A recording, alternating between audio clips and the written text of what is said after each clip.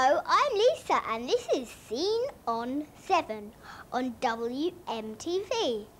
Here's Steve Brennan.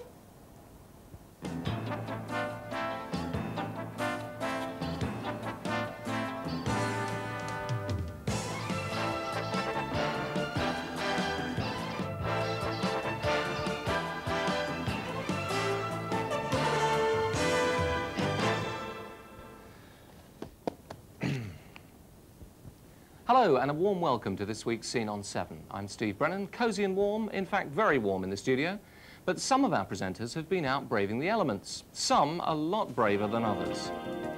This week, Tony O'Rourke tries keeping up with the joggers in Burnham, our charity spotlight falls on asthma sufferers, Bubba Mitchell meets the champions of chiffon, it's not fashion, it's ballroom dancing. Author Robert Elegant tells his traveller's tales to Karen Mooney, Andy Catterall is making Britwell more beautiful. My studio guest this week is Alex Brown. Has he got what it takes? What silly things were you up to for children in need? Now, if you drive around before most sensible people get out of bed, you'll see them pounding the pavements, sometimes in some pretty extreme weather conditions. They are the joggers. We waited for the coldest day of the year so far and sent Tony O'Rourke along to Burnham to meet them. But Tony did the bubble car start?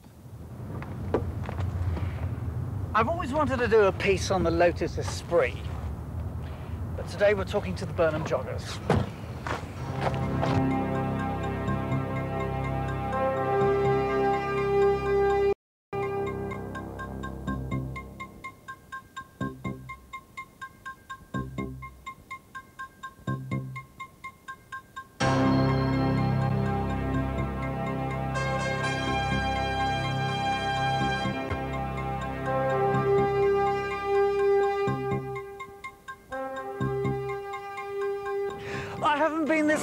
Since we did the rugby recently. I'm blue. Today we're at the uh, Cherry Orchard Memorial Ground in Burnham in Buckinghamshire, where I'm talking to Burnham jogger David Rodwell. Hello, David. Morning. Tell us about the Burnham joggers. What are they? Burnham Joggers uh, have been in existence for about 16 years now, and we're in the village of Burnham in Bucks. Uh, we are primarily a jogging club as against an athletic club, so we encourage all levels of jogging, road and cross country in, How, how in the many of you, how many of you are there? Uh, currently, at the moment, we've got something in the order of about 180 members. Really? That does include juniors as well, uh, people as young as six years old. And you go out on a day like today when it's freezing, minus two. It's only minus two today, but uh, we have been known to go out much colder than this, certainly. Yeah. Presumably, once you get going, it, you, you, you heat up, do you? Yeah, you tend to wear gloves, etc. You wrap up warm, we wear thermal insulation, and um, once we do get going, after a couple of miles, you, you get warm. You wear special shoes as well. We do indeed, yes, dependent on which type of running we're doing. What's the difference between ordinary trainers and the, the jogging shoes that you wear? An ordinary trainer has not got the right amount of cushioning in. It's not been designed technically correct for road running. Uh, there are also cross-country shoes, which are slightly different again, which have less cushioning but more grip. Right, little spikes on the Little bottom, yeah. spikes or little studs, like a football boot almost. Right. Now, I've heard varying stories from different people about how good jogging is for you. Some people tell me that it's very good for you, and others say that it's not very good for you. Well- for the heart. For the heart. For the heart. Is I, right? I can tell you that um, something about 10 years ago, I was diagnosed as having angina. I was playing squash at that time fairly extensively. Uh, my doctor advised that I should take up cycling or light jogging. Um, for the last nine years, I've had no symptoms of angina and I am off medication. Now, I put that down to better eating, less red meat, in fact, no red meat, no flesh at all, um, and uh, steady jogging, steady road running. Right. You've got a special event coming up quite soon. It's an annual Oh. event, isn't it? We have a wonderful event coming up soon. This is the Cliveden Cross Country, sponsored by SGT over at Taplow. It's a six-mile cross-country event in the uh, in Cliveden House grounds, which are the former home of Lord and Lady Astor. That's National Trust property now. That is National Trust property, yes. Uh, it's a very interesting course. As far as the runner is concerned, it's very testing, very hilly.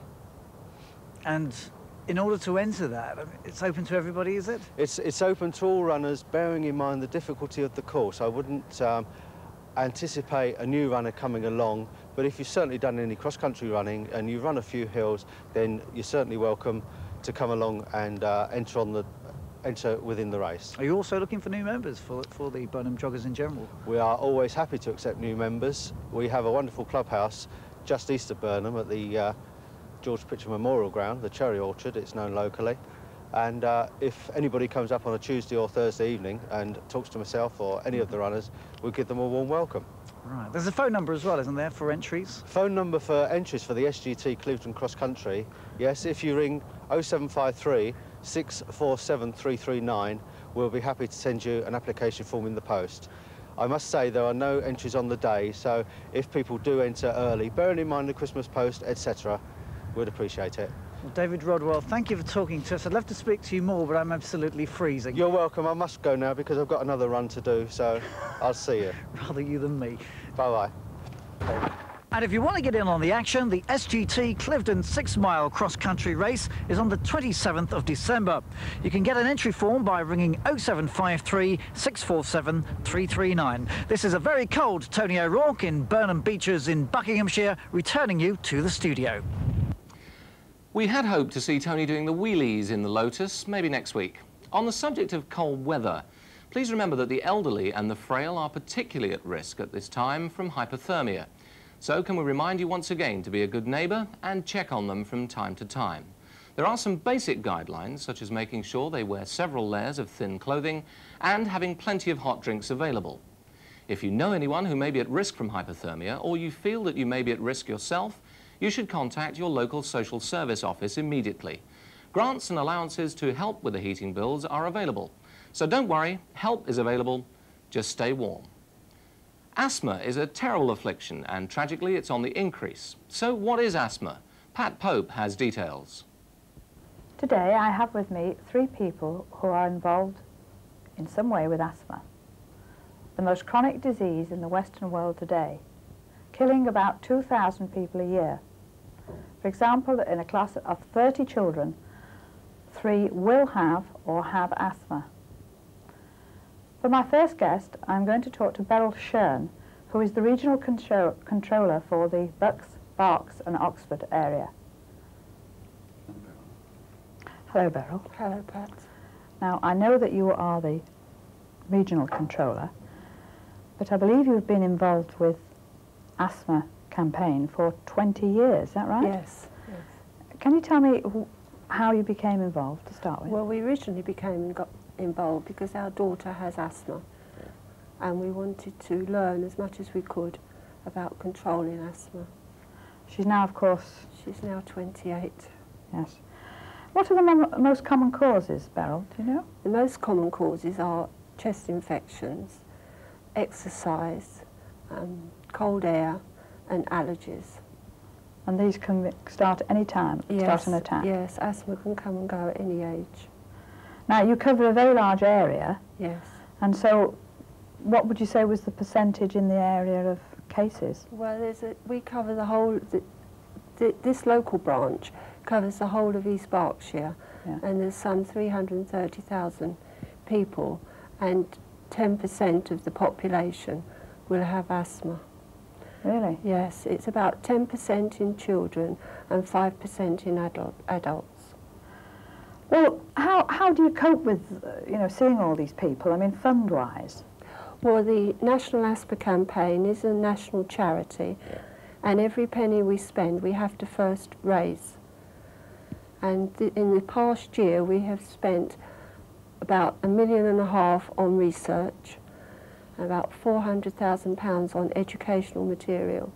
Really? Yes. Yeah, so we have a network of branches throughout the United Kingdom, about 190 branches in all, and they actually are run by local committees, and they raise funds for the, use, the work of the National Asthma Campaign, and they um, hold educational meetings. Now, I believe that the, this figure of 2,000 could be cut greatly yes. by 80%. We firmly believe that with um, education and understanding, correct use of the medication, that the death, the number of deaths a year could be cut. Really? So now, how, um, what is your greatest need as, as um, a society? Well, our greatest need is to, to start local branches and therefore we need local committees and then they can get out in their community with and educate the people in the community to understand asthma and raise funds for research. So you need volunteers? Yes, absolutely, volunteers. So where would one contact you if they felt that they would like to well, help? they, they can contact me for the local or they can find our address at libraries for the local branch contact or they can contact our head office. So you have a national number? We have a help. We have two numbers. We have our national office number for general information, and then we have a very important number, which is our asthma helpline, and that is 0345 010203, which is very easy to remember. Thank you very much for that information, Beryl. Very nice of you to come along today. Thank you. Hello, Victoria. Hello, How old are you? I'm nine. Nine. Now, I believe that about five months ago you were starting to cough. Would you like to tell us about it? Well, I was having my swimming lesson and um, my teacher heard me wheezing. So at the end of my lesson, he told my mum and he said, Has she got a puffer? I, and I think he meant an inhaler. Mhm. And she said no. So we went to the doctor's and he prescribed an inhaler for me. I see. Now, how often do you need to use the inhaler? Well, I use it when I have an asthma attack to ease breathing and just before hard exercise such as swimming. I see. And have you had a few attacks since then? Yes. So you've been able to take your inhaler? Mm. Now, do you, do you feel any pain at all when you have it? Mm. It's not really like a sort of pain that you think of pain as like a cut sort of pain, Right. but it's sort of a tight pain. Tight pain in your chest? Yeah. And then you have a little puff of that and it helps. Mm. Now, they've been talking about two inhalers, a blue one and a brown one. Do you know the difference between those two? Yes, the brown one you take just before you go to bed and just after you've woken up so that it's to prevent asthma and the blue one as I told you is before hard exercise Oh. and when you have an Attack. asthma attack. I see. Now, you're a very keen swimmer, I believe. Yes. So that's very useful, isn't it, to have? Yes. Right, well, you have to be very careful that you take it everywhere you go, won't yes. you? Well, thanks very much for coming to see us today, and uh, good luck with your swimming, Victoria. Thank you. Okay. For my next guest, I would like to introduce Daphne Line, who is a chest, a retired chest physician, and is in fact the medical advisor for the local branch of asthma. Uh, Daphne, we've talked a lot about asthma today. What exactly is it? Asthma is wheezing, breathlessness, chest tightness, dry cough. But the most important symptom is wheezing. Is it painful for the victim? The chest tightness can be uncomfortable, but it isn't painful. So what medication is offered to the sufferers of asthma? The important things are the inhalers. If people get occasional attacks of asthma, they just need to use an inhaler to relieve that attack. But if people get asthma several times a week, they need to take preventers regularly. And it's important that they do take it every day without fail. And it's important also that they are shown how to use the inhalers correctly. I see. The technique is so important. So are there any other drugs available to people? There are other drugs such as steroids and theophylline drugs, but it is the inhalers that are the very important drugs to be used, both for prevention and for treatment of asthma. Yes. For children and adults alike? For children and adults, yes. Yes. Is there a cure? There's no cure, but we are working on it. Mm-hmm. There's a lot of money in research, and we hope eventually one day there will be a cure. Is there an inheritance fa- factor here Can it be There's inherited? no, no direct inheritance, but it tends to run in families. Really? So anybody watching this program today, what message would you like to give them? The important thing is to use the inhalers early and to use them correctly And regularly? and regularly. So that if they didn't have a, an asthma attack for, say, a month, they must still continue to use the, it daily. To use it every day without fail. Well, thank you very much for giving that information to us. Thank I've you. learnt a lot today. Thank you, Daphne. Thank you, Pat. For more information on asthma, call the Asthma Helpline on 0345 010203. A nice, easy number to remember, and the telephone number will be available on the Moving Magazine, which is available to you 24 hours a day. Okay, now dances around the world are like fashion trends. They come and go. There's the mashed potato, the twist, and Saturday Night Fever, to name but a few. But ballroom dancing, the satin, the white tie and tails, just keeps on going. They take it very seriously. Bubba Mitchell, WMTV's very own Ginger Rogers, checks it out. In a change of pace to last week's nightclub aerobics, today we're going to be looking at the more traditional ballroom dancing. We find ourselves in the Slough Community Centre where they're hosting the Berkshire, Buckinghamshire and Oxfordshire Open Dance Championships. And I'm actually wearing a frock and I feel very underdressed.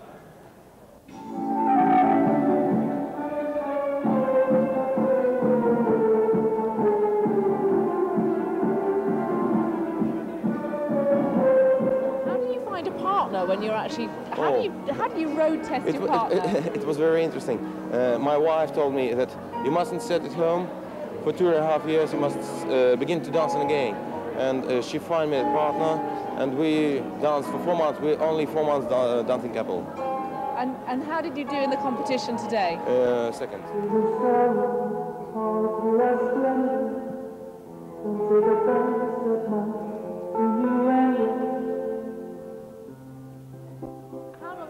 Judging these competitions for? Over 20 years. Over twenty. And are you a professional dancer yourself? Yeah, I was. You were. Too old now. Yeah. What are you looking for when you're judging the competition? Well, you see, all judges look for different things. That's why you don't have just one judge. See, if, if, all, if we all look for the same things, you'd only need one judge. So you have to have a, a group of judges because we all look for different things. We all have different things that are, are our priorities. You know, in good couples, when you get really top class couples, really good couples, you look for bad things because there's so many good things. You're looking for something bad about their dancing. Now, when you get bad dancers, or poor dancers, or beginners, most of the stuff they're just beginning. So you're looking for anything good about their dancing.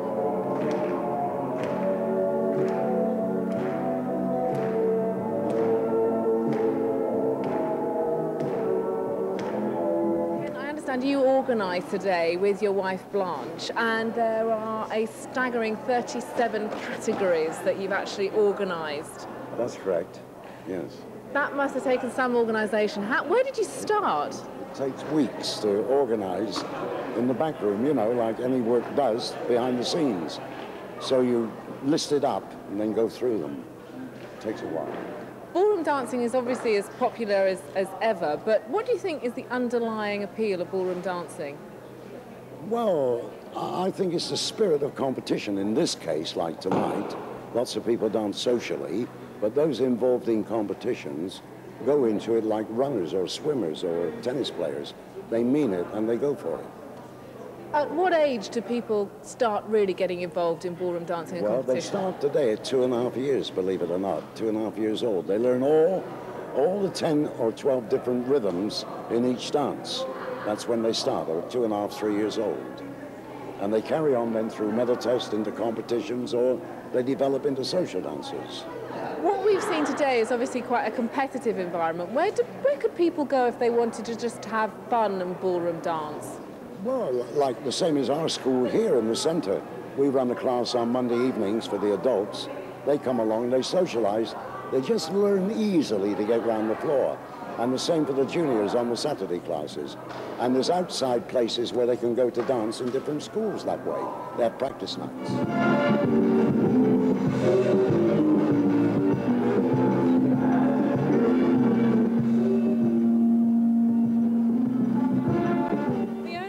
Anthony, congratulations. You've just won the biggest cup I have seen for a, a long time. You must be very pleased. Yes, We are very Over the moon, yes.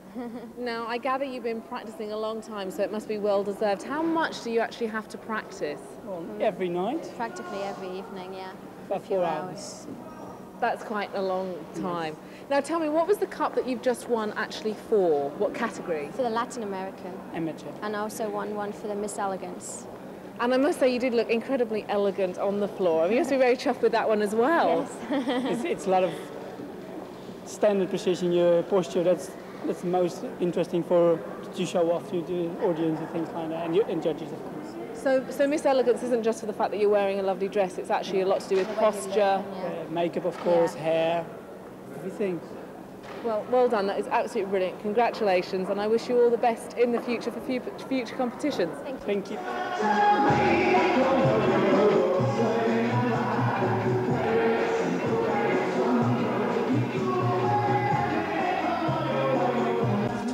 This is Bubba Mitchell saying goodbye from the Slough Community Centre and the Dance Championships. Everybody's abandoned us to go and sew back on their sequins, so it's back to Steve. I don't know about you, but I'd love to see Bubba with sequins on. Maybe it'll be on the Christmas show. Don't forget, if you'd like to get your message on screen, come and say hello to us. We'll be at the Queensmere Shopping Centre in Slough on Saturday morning. That's the 11th of December. We'll be there with our cameras, so come and say hi. We'll see you then, and Simon Brandt and I will be at Nicholson's Walk in Maidenhead on the same afternoon. We're back in just a few moments.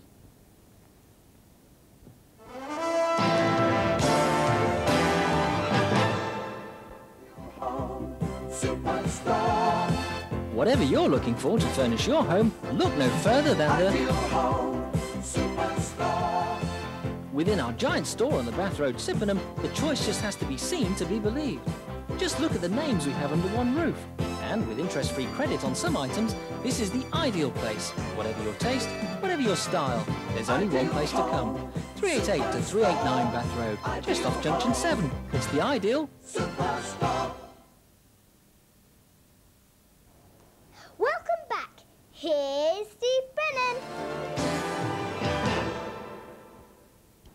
Welcome back.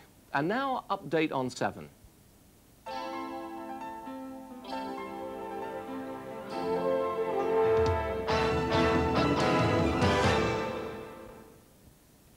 This week's Update on 7 tackles the very contentious subject of pub signs. What else? Can you believe that a Labour councillor in Middlesex has written to the landlord of the George and Dragon pub in Newsley High Street on the subject of the sign outside the pub? Now, the tradition of amusing pub signs goes back ages. I don't know anyone who's offended by them, but one in particular, depicting a nagging wife holding a rolling pin over her husband, prompted this comment from Labour's Ruth Willis. In this day and age, after a wealth of research carried out into domestic violence, child abuse and rape, it is proven that domestic and other forms of violence are carried out generally by men towards women. Your sign, therefore, helps quite blatantly to enforce the untruths behind the stereotypes and myths surrounding domestic violence, which shows women as the aggressor in any relationship. We find your sign ill-conceived by its location, offensive in its concept, and an affront to the majority of the people. What a load of nonsense. What do you think? What a load of nonsense. We all think the same. I thought pubs were for a nice, quiet drink, and personally, I'm on the side of landlord George Adamson. He says that it's a fun pub and a fun sign, and I'm not taking it down. I haven't heard that hounds chasing stags at pubs like the Stag and Hounds have been accused of cruelty to animals, and it's staying. The world is definitely going mad. Would you like to travel the world, write about it, and get paid? Robert Elegant has done just that.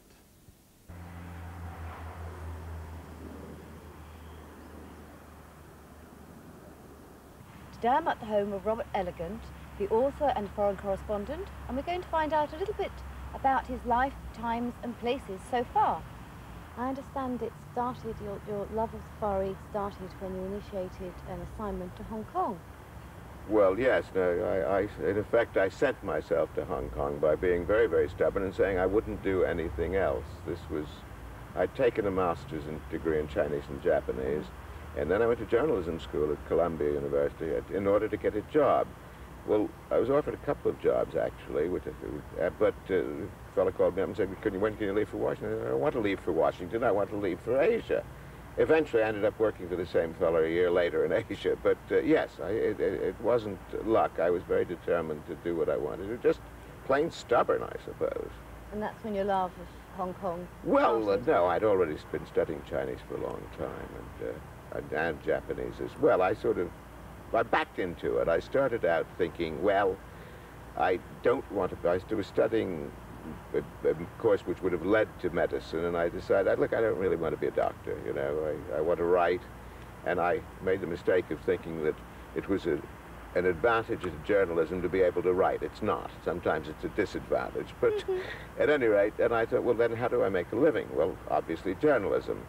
And, but I don't want to start, you know, on a provincial paper or something like that. I want to start as a foreign correspondent, which everybody said was absolutely ridiculous. Well, so I studied Chinese, and later I came to study Japanese. I thought, well, you know, if I got the languages, I'll have a better chance. I still had to carry on and, uh, and push and push and push till I got set myself to Hong Kong. But I did start in the newspaper business as a foreign correspondent, which is fairly unusual. It must have been absolutely fascinating. I mean, you've obviously travelled very widely through Asia and things. And what do you, would you say would be the one thing that stands out during your war correspondent days? Well, I, I could say the wars, I suppose, because they were most dramatic. I spent most of my time, one of the reasons I studied journalism was because I, I've always been, my life has been a pull among a number of things. You say three things. First, Asia, and, and, an, uh, and scholarly academic interest in Asia. Second, journalism, which is great fun. You know, where else do you get paid to go somewhere yeah. you want to go?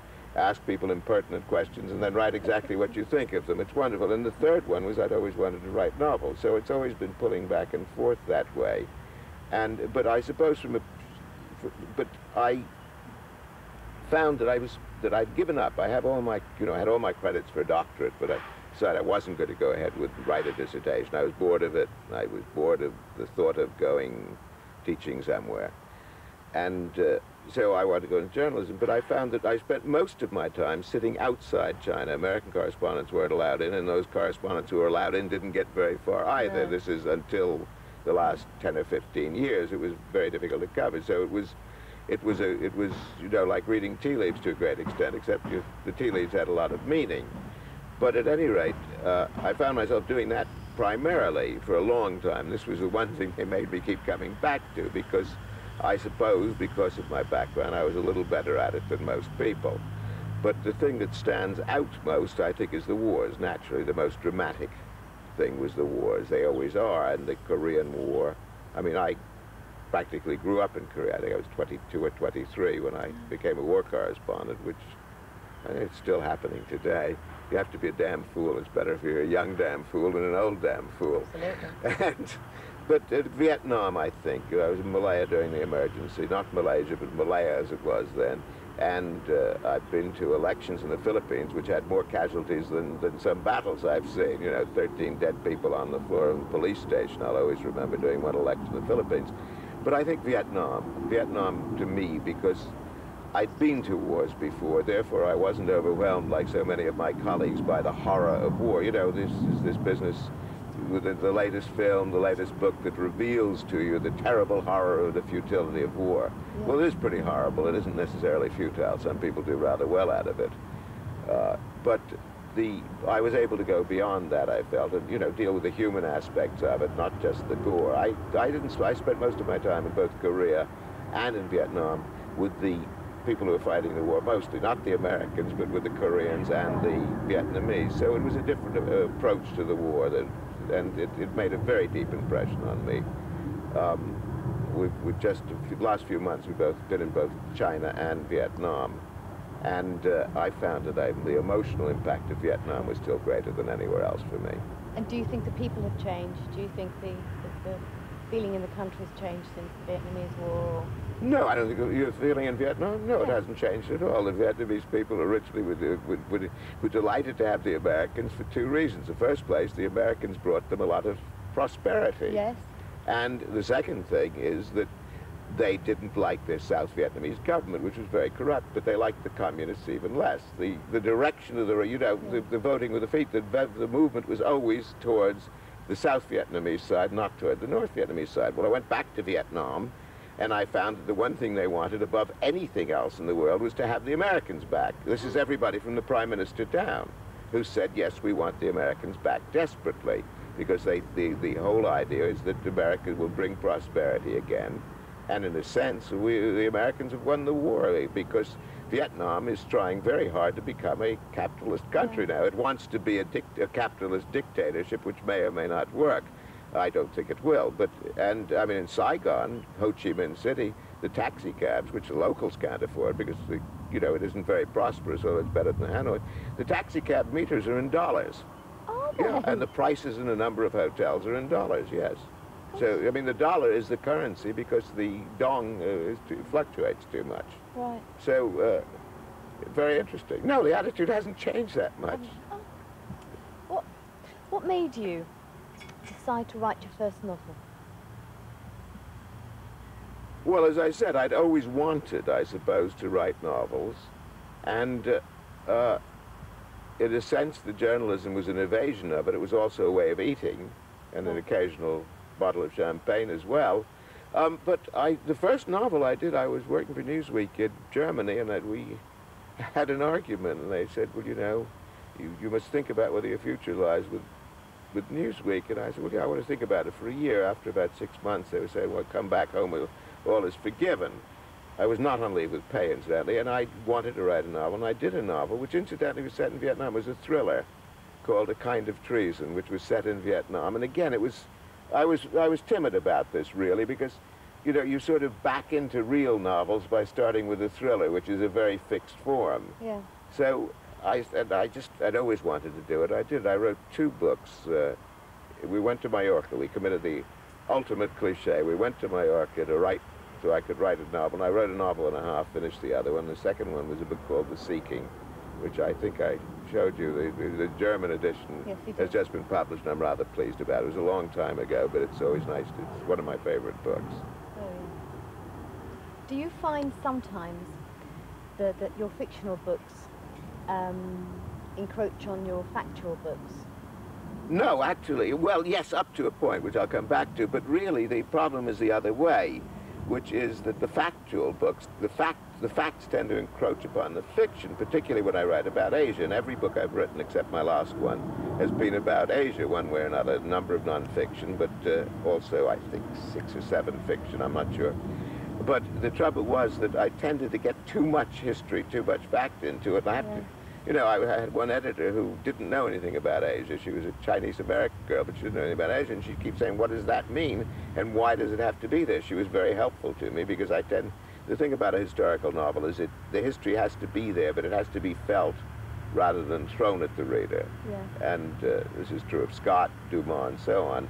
That a fair amount in the history is accurate, but you don't want to throw it at the reader. So I, that, my problem has been the other way, except for a book called uh, Pacific Destiny, which was a non-fiction ex, ex, exposition of the present state of Asia, where I decided, look, it's all very well to be full of knowledge about Asia, but the point is to get it across. So I used my wife and myself and our travels as a central thread to hang it on. So I suppose that was an intrusion of the fictional, or use of the fictional technique. Oh, nobody wants the communists. The Chinese, least of all, obviously. I mean, the Chinese people of Chinese race or culture who live there, they're the last ones because most of them are the children or the grandchildren yeah. now of uh, people who fled. Absolutely. Uh, and, you know, it isn't, so, it isn't, communism is a meaningless word now. It's a totalitarian regime, a very intrusive totalitarian regime. That's what it really is. Well, I think we'll look forward to reading Dynasty 2. Good. And uh, Bianca's there now. Yes, good. Thank you, Karen. What a lovely way to earn a living. It's the pinnacle of any broadcaster's career when he gets to talk about poop scoops. And this broadcaster is no exception. Not the poop, just the pinnacle of the career. The free trial of XL Pet's Easy Scoop system ended on Monday the 29th of November in the borough and responsible dog owners will be able to purchase poop scoops from the cash desks at the Town Hall Maidenhead and York House in Windsor. The Easy Scoop comes complete with 20 bags at a cost of 1.99. A pack of 50 bags will cost 99p. The packs will also be available from the Tinkers Lane Depot reception refurbishment is complete in January 1994. Poop scoops are just one part of the borough's campaign to promote responsible dog ownership.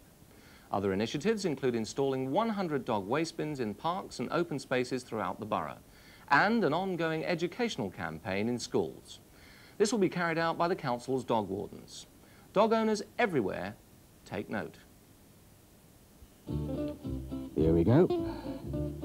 Don't what I'm getting so excited about. I mean, it'll only be once round the block. I'm longing to go. Oh no, women. More embarrassment when he doesn't clear up after me. Yuck! Well, well, well. I might get him trained after all. Fancy a bit of a walk? Oh, um, uh, um... So there you are. Don't let your dog go to a tree and do it, will you? Andy Cattrall has been to Britwell, braving the cold and, in fact, planting trees. Thanks, Steve. Hi, my name's Andy Cattrall. I'm here today on the Northborough Estate in Slough, where the people from the Groundwork Trust have organised a community tree planting event. With me here in the Northborough Estate is Richard Gibson. He's one of the project coordinators for Groundwork Colne Valley. He's going to tell us a little bit more about what's happening here our philosophy of, of our work is involving local communities and improving their environment. We're here today on this very cold day to plant a thousand trees to help brighten up the Northborough estate.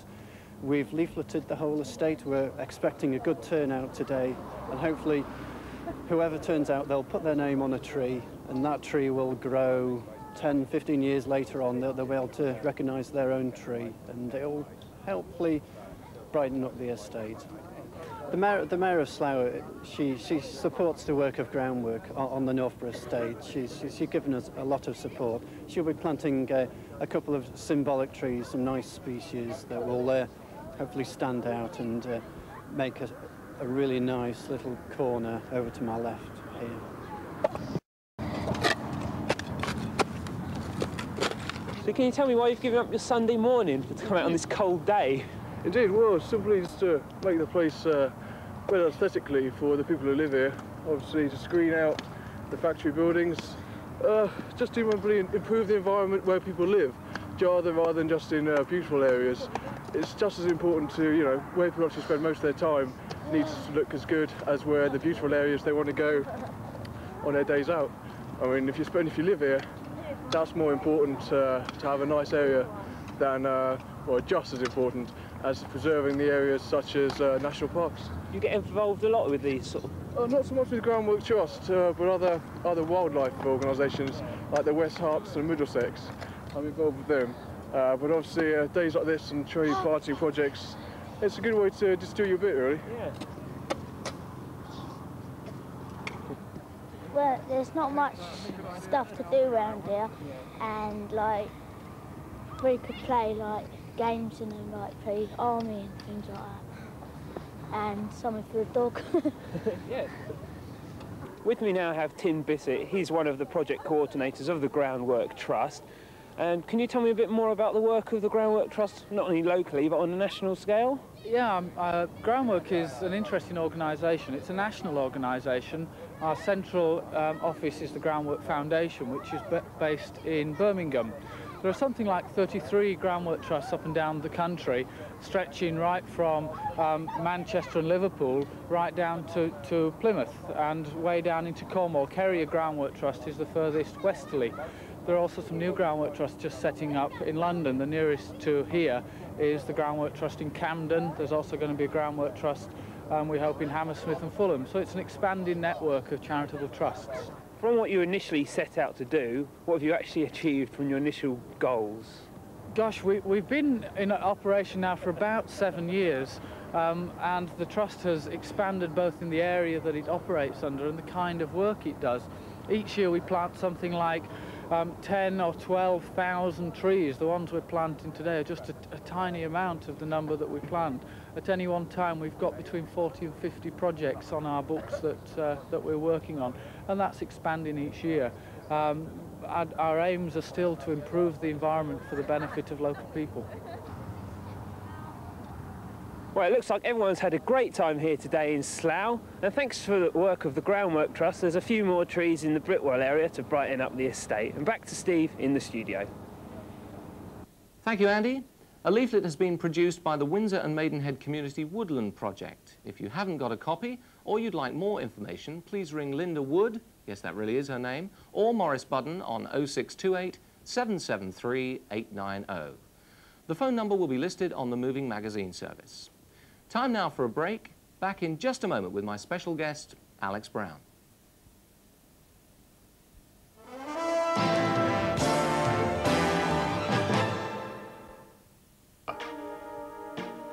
Power. Electrical installations for your working environment. Controls. Control systems for air conditioning, heating and ventilation. Communications communications for voice and data networks. Power, controls, communications from concept to completion, think Pensdown on 0474 853 222. Now back to the studio with Scene on 7. Poop Scoops to you too. This week sees the release of a brand new single called That's What It Takes, and a very warm welcome to the man who sings it, my special guest, Alex Brown. Alex, welcome. Hi, Steve. Tell us all about this new single and CD. Well, uh, it's my debut single, um, coming out this week. It's called? That's What It Takes. That's What It I'm Takes. Alex Brown, and it's soul music, basically, soul dance music. Um, go and buy it. Go and buy it, all right. How did you get started in, in music? I've been singing in bands for years. Um, my first band was called Macho Frog, little old rock and roll blues and all that sort of stuff. Unforgettable name. Yes, not many people, for, not many people forgot it. You know, it stuck around for a bit. It was good fun, and I've been singing bands ever since. Right, and you wrote this song, I understand? I did indeed, about two, two and a half, three years ago. What inspired you to write That's What It Takes? Basically, the song's about the things that are good in life for me. Such as?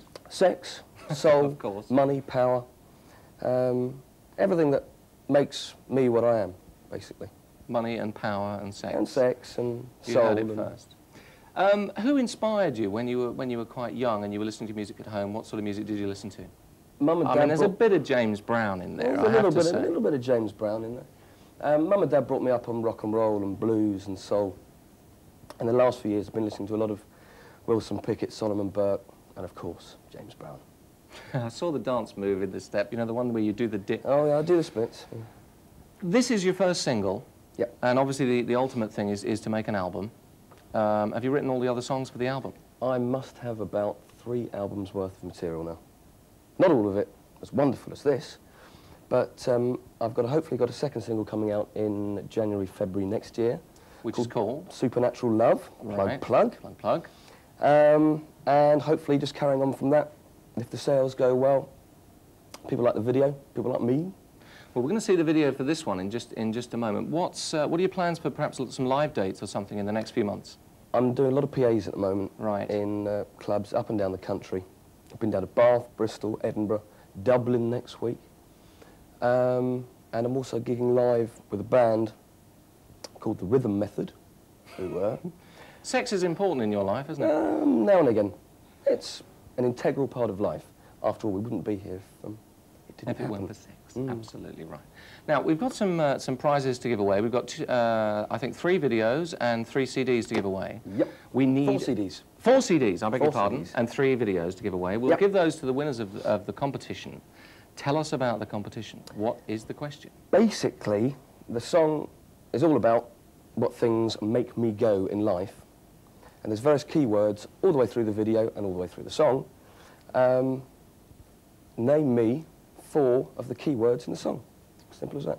And we've mentioned them several times during Um, this chat. A couple of times, yes. Maybe the different ones towards the end of the song. it's all about this song. Introduce us to your new single and your new video. This is That's What It Takes. I'm Alex Brown. This is the new video.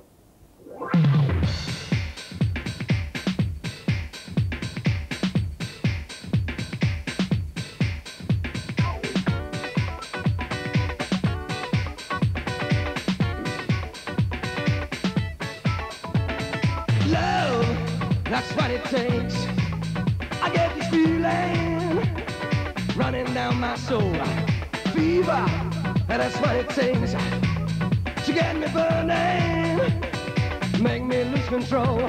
Sex, but that's what it takes to make me feel good, help me through the day. Power, that's what it takes. It takes me over, get on my knees and pray. Soul, wow, it gets me moving. It's what my body needs. Well, I said fire. Ah, it keeps me rising, rising. These are the things that make it good.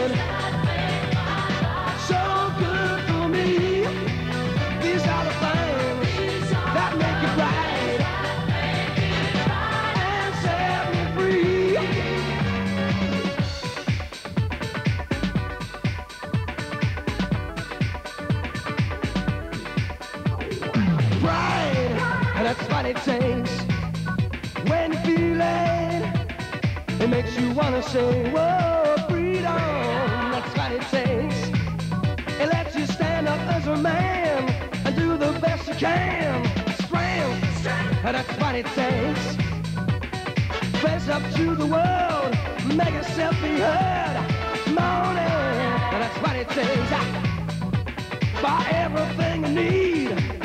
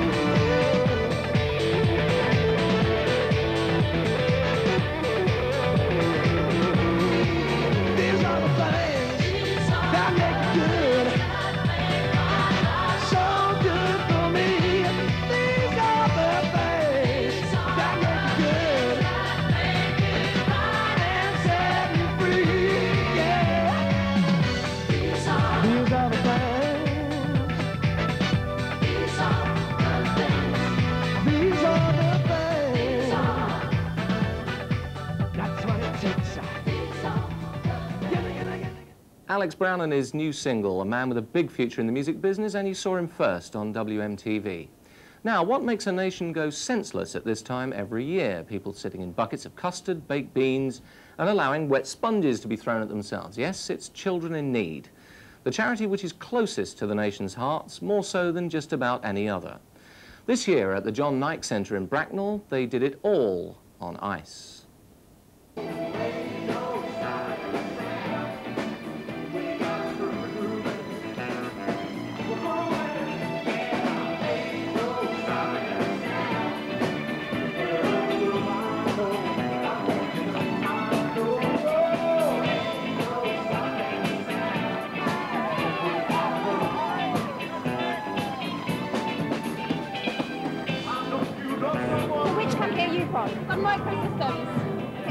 Okay, is that local-based company? Yeah, we're all based in Camberley and Bagshot. Right, now tell me a little bit about your involvement in the actual evening this evening. Um, well, I'm running around like a mad lunatic out on the ice, um, falling over a lot and getting wet. And what's the event in aid of? Children in Need, 1993.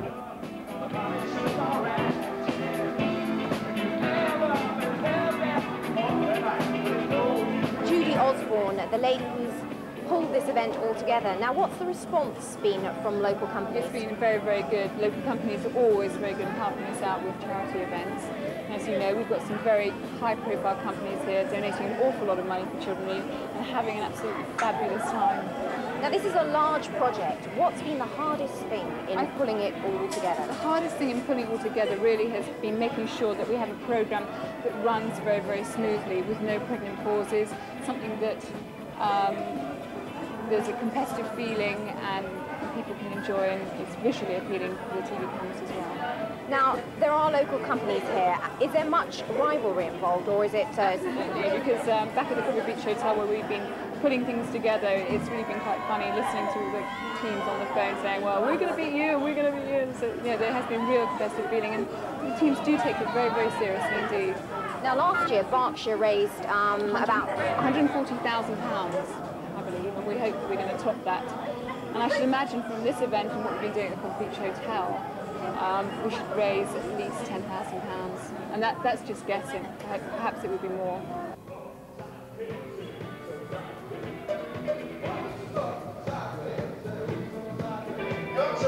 So how much money do you think you've raised here today?